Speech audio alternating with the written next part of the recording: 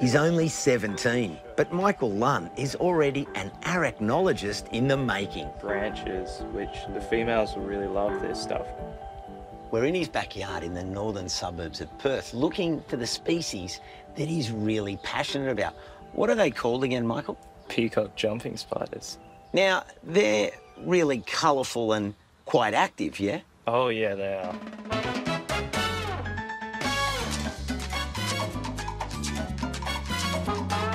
The colours, like they're such bright, vivid colours that you wouldn't normally see in nature.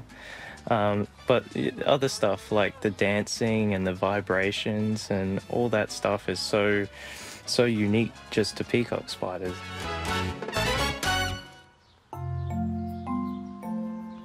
My fascination started right at the start of the COVID lockdown. I was sort of wandering around the backyard just seeing what I could find, you know, having a, a little poke around the garden. And uh, it was that spot right there, that little piece of fence. It felt like just a beam of sun just hit that panel of fence, and I just saw it right there. And from that moment onwards, it's I've just been hooked. I found these videos that my friend made basically a tutorial list on how to look for peacock spiders properly and i watched those videos and uh, i started visiting some spots and using the tools that he taught me to to look for these spiders. And uh, yeah i just i started photographing them and then i met flynn. Flynn is the guy that first introduced me to macro photography and has helped teach me a lot of, about what i know. I told flynn about the pet tarantulas I have, and Flynn wanted to come round and get some nice close up photos of them. I thought it'd be some really big, high tech, expensive thing, and he just showed me this, this sort of small, cheap camera setup that made these beautiful images, and I thought, I could do that. I, I haven't looked back since. I just started shooting. I thought, you know, this is this is a perfect opportunity for me to start uh, a public Instagram page and to be able to share my photos and these spiders with the rest of the world. So, how else are you sharing your love for these spiders? I've been letting a lot of people tag along on my trips, and I've been able to show them you know, where all the spiders are and teach them a lot about the spiders uh, and even how to photograph them. Well, that just leaves me with one last question. And I'm dying to ask you this. Can we get out there and find some? Yes, we can. Let's go. Okay. A lot of piles of dead twigs, so the females generally gravitate to them. You know what I really love is we're in a patch of bushland not far from Michael's place.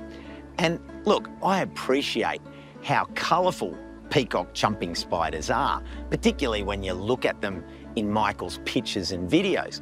But seriously, in a bushland setting like this, I don't know how he sees them.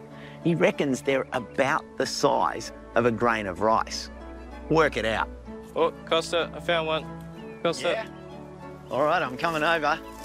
Sure enough, Michael, with his bionic vision, spots one. You see he's on that leaf right there? Seriously, how did you see him cold like that? When I first started out looking for peacock spiders, I watched a bunch of training videos that taught me to look for ants and practice on ants. So that's what I did for a while. And also, I think having young eyes definitely helps too. So I'm capitalizing on my youth while I have it. Um, probably my best spot was I spotted one out of a moving car. Oh, on the edge of a on the edge of a road, it was just perched on a leaf, kind of like this one is right here. So What sort of equipment and techniques do you use to capture those images that you share? Well, here I got my camera set up. This is what I use. I have a 60 millimeter macro lens, f2.8. It's a specialist macro lens, so it helps me get in there. Here I have this magnifier. So you clip that onto the front of your lens, and that allows you to get even closer, and it also increases the sharpness of your image too. Some people like to shoot in natural light, but I prefer to use uh, a flash and this custom made diffuser you just put over your flash. If you look at the inside of the diffuser, it's got this beautiful white reflective material here that carries the light with it. and just pastes it evenly across the front of it. There's only two real techniques to macro, and that's your single shot and your stack. Um, and your single shot is by far the more easier one, and I think that's the one that people looking into macro should start with.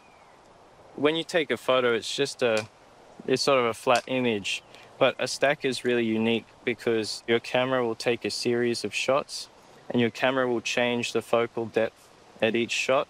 Say I start the stack right at the front of the spider, so the series of images captures the whole spider in focus. And when you do that, you can uh, fiddle with your settings to allow your images to even be sharper and sharper and sharper because you're shooting at a much narrower f-stop. So you're getting less of the spider in focus, but the little part you have in focus is really sharp. So you stack through the whole spider and then you go home and you open up uh, an editing software and those softwares will detect which areas of your image are in focus and it will stitch them all together to make one big image with everything perfectly in focus.